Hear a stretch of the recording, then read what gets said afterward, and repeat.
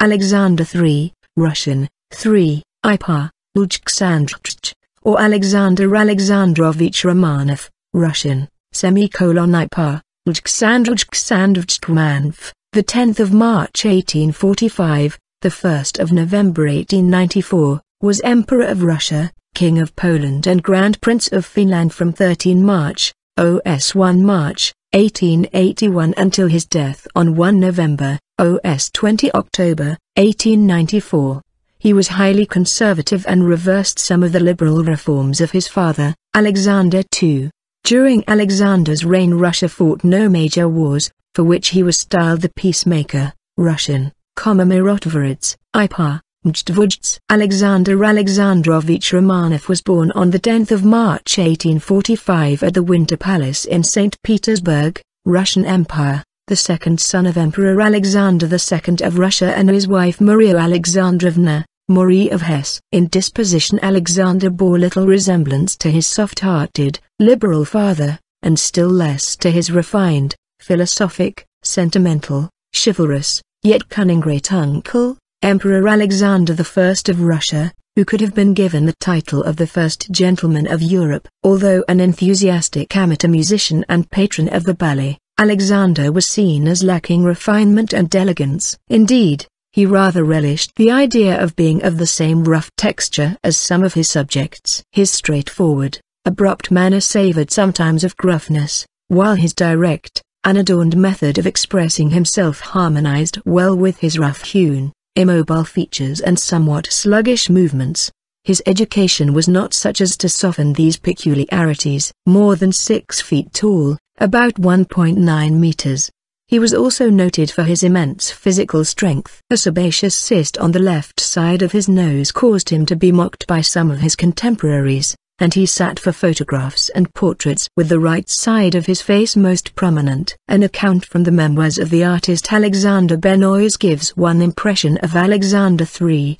After a performance of the ballet's Tsar Kandavle at the Mariinsky Theatre, I first caught sight of the emperor. I was struck by the size of the man, and although cumbersome and heavy, he was still a mighty figure. There was indeed something of the Muzhik, Russian peasant, about him, the look of his bright eyes made quite an impression on me. As he passed where I was standing, he raised his head for a second, and to this day I can remember what I felt as our eyes met. It was a look as cold as steel, in which there was something threatening, even frightening, and it struck me like a blow.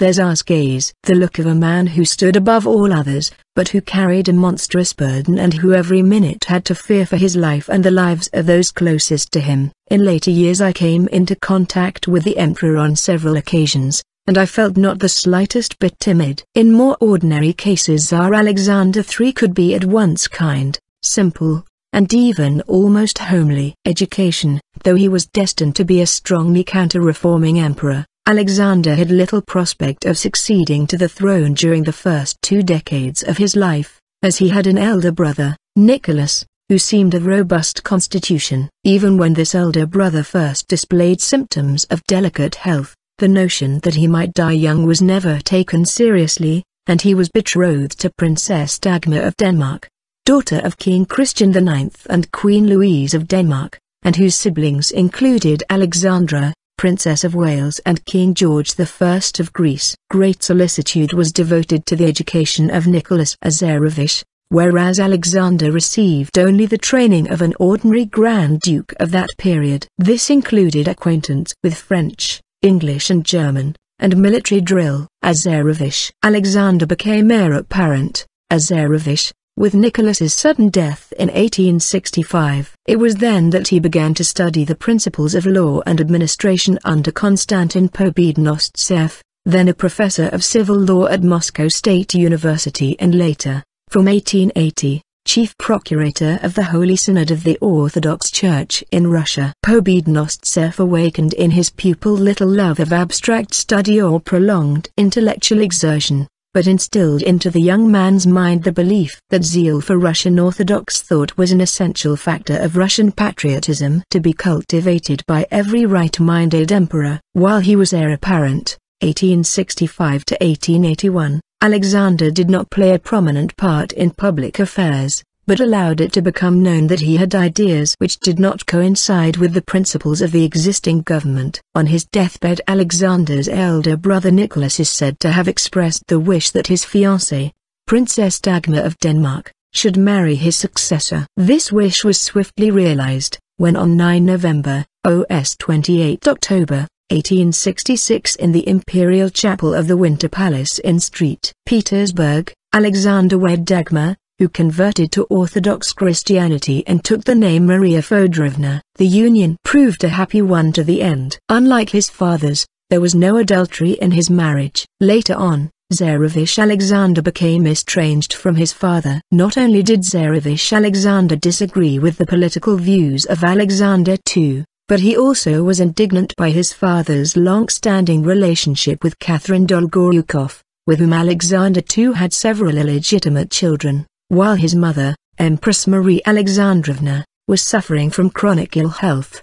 1. To the scandal of many at court, including Tsarevich Alexander, Alexander II married Catherine only a month after Empress Marie Alexandrovna's death in 1880. Reign 1881 to 1894. On the 1st of March 1881 Alexander's father, Emperor Alexander II of Russia, was assassinated by members of the terrorist organization Narodnaya Volya. As a result, he ascended to the Russian imperial throne, in Nenel 13 March 1881. He and Maria Fedorovna were officially crowned and anointed on the 27th of May 1883. Domestic policies On the day of his assassination, Alexander II had signed an ukaz creating consultative commissions to advise the monarch on ascending to the throne. However, Alexander III took Pobedonostsev's advice and cancelled the policy before it was published. He made it clear that his autocracy would not be limited. All of Alexander III's internal reforms were intended to reverse the liberalization that had occurred under his father's reign. He believed that the country was to be saved from revolutionary agitation by remaining true to Russian orthodoxy, autocracy, and nationality, the ideology introduced by his grandfather, Emperor Nicholas I. Alexander's political ideal was a nation composed of single nationality, language, and religion, as well as one form of administration. He attempted to realize this by the institution of mandatory teaching of the Russian language throughout the empire, including to his German, Polish, and other non-Russian subjects with the exception of the Finns, the patronization of Eastern Orthodoxy and the destruction of the remnants of German, Polish, and Swedish institutions in the respective provinces, and the weakening of Judaism through persecution of the Jews. The latter policy was implemented in the May Laws of 1882, which banned Jews from inhabiting rural areas and shtetls, even within the pale of settlement, and restricted the occupations in which they could engage. Alexander weakened the power of the Zemstvo, an elective local administrative division resembling British parish councils and placed the administration of peasant communes under the supervision of landowning proprietors appointed by his government. These land captains, Zemsky Zemskaya Nakolniki, were feared and resented throughout the empire's peasant communities. These acts weakened the nobility and the peasantry and brought imperial administration under the emperor's personal control. In such policies Emperor Alexander III was encouraged by Konstantin Pobedonostsev, who retained control of the church in Russia through his long procuratorship of the Holy Synod from 1880 to 1905, and was appointed tutor to Alexander's son and heir, Nicholas. Pobedonostsev is depicted as Toporov in Tolstoy's novel, Resurrection, other conservative advisers were Count D. A. Tolstoy, Minister of Education, and later of Internal Affairs, and I. N. Durnovo, D. A. Tolstoy's successor in the latter post. Mikhail Katkov and other journalists supported the emperor and his autocracy, as did the novelist Dostoevsky. Encouraged by its successful assassination of Alexander II, Narodnaya began planning the murder of Alexander III. The plot was uncovered by the Okhrana and five of the conspirators, including Alexander Ulyanov, the older brother of Vladimir Lenin, were captured and hanged on 20 May, OS 8 May, 1887. On 29 October, OS 17 October, 1888 the imperial train derailed in an accident at Borki. At the moment of the crash, The royal family was in the dining car. Its roof collapsed and Alexander supposedly held its remains on his shoulders as the children fled outdoors. The onset of Alexander's kidney failure was later attributed to the blunt trauma suffered in this incident. The famine of 1891-92 and the ensuing cholera epidemic let in some liberal activity, as the Russian government could not cope with the crisis and had to allow Zemstvos to help with relief. Among others, Tolstoy helped organize soup kitchens, and Chekhov directed anti-cholera precautions in several villages. The Borki Cathedral was one of many churches built all over the empire to commemorate the Tsar's miraculous survival in the train crash. Foreign policy In foreign affairs Alexander III was a man of peace, but not at any price, and held that the best means of averting war is to be well prepared for it. Though he was indignant at the conduct of German Chancellor Otto von Bismarck towards Russia, he avoided an open rupture with Germany, and even revived the League of Three Emperors for a period of time, and in 1887, signed the Reinsurance Treaty with the Germans. However, in 1890, the expiration of the treaty coincided with the dismissal of Bismarck by the new German Emperor, Kaiser Wilhelm II, whom the Tsar had an immense dislike for, and Wilhelm's government was unwilling to renew the treaty. 3. In response, Alexander III then began cordial relations with France, eventually entering into an alliance with the French in 1892, 5 ruble coin of Alexander III, 1888. Despite chilly relations with Berlin, the Tsar nevertheless confined himself to keeping a large number of troops near the German frontier. With regard to Bulgaria he exercised similar self-control. The efforts of Prince Alexander and afterwards of Stambulov to destroy Russian influence in the principality excited his indignation but he vetoed all proposals to intervene by force of arms. In Central Asian affairs he followed the traditional policy of gradually extending Russian domination without provoking conflict with the United Kingdom, see Panjdeh incident, and he never allowed the bellicose partisans of a forward policy to get out of hand. His reign cannot be regarded as an eventful period of Russian history, but under his hard rule the country made considerable progress. Alexander and his wife regularly spent their summers at Langinkoski near Kotkan on the Finnish coast, where their children were immersed in a Scandinavian lifestyle of relative modesty. Alexander deprecated foreign influence, and German influence in particular, so the adoption of local national principles was off in all spheres of official activity with a view to realizing his ideal of a Russia homogeneous in language, administration and religion. With such ideas he had not been able to be in cordial agreement with his father, who, though a patriot, had German sympathies, often used the German language in his private relations, occasionally ridiculed the Slavophiles and based his foreign policy on the Prussian alliance. Some differences had first appeared during the Franco-Prussian War, when Alexander II supported the cabinet of Berlin while the Tsarevich did not conceal his sympathies for the French. It had reappeared during the years 1875 to 1879, when the Eastern question excited Russian society. At first the Tsarevich was more Slavophile than the government,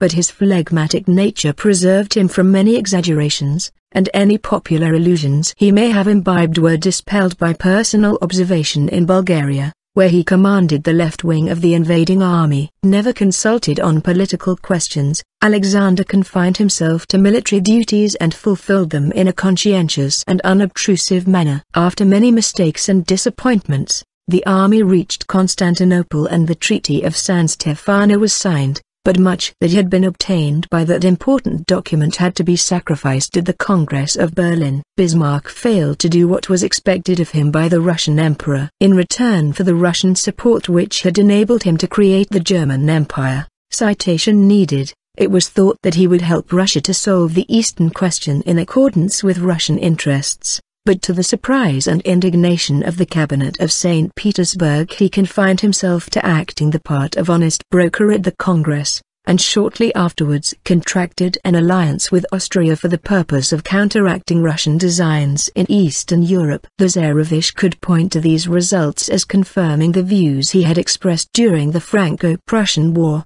and he concluded that for Russia the best thing was to recover as quickly as possible from her temporary exhaustion and prepare for future contingencies by military and naval reorganization. In accordance with this conviction, he suggested that certain reforms should be introduced. Family life Following his father's assassination, Alexander III was advised that it would be difficult for him to be kept safe at the Winter Palace. As a result, Alexander relocated his family to the Gatchina Palace, located 20 miles south of St. Petersburg, making it his primary residence. Under heavy guard, he would make occasional visits into St. Petersburg, but even then, he would stay in the Anichkov Palace, as opposed to the Winter Palace. In the 1860s Alexander fell madly in love with his mother's lady-in-waiting, Princess Maria Elimovna Meshcherskaya, dismayed to learn that Prince Wittgenstein had made her a proposal in spring 1866.